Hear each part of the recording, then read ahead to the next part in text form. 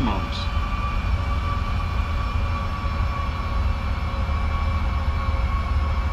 One hundred. Fifty, forty, thirty, twenty, ten.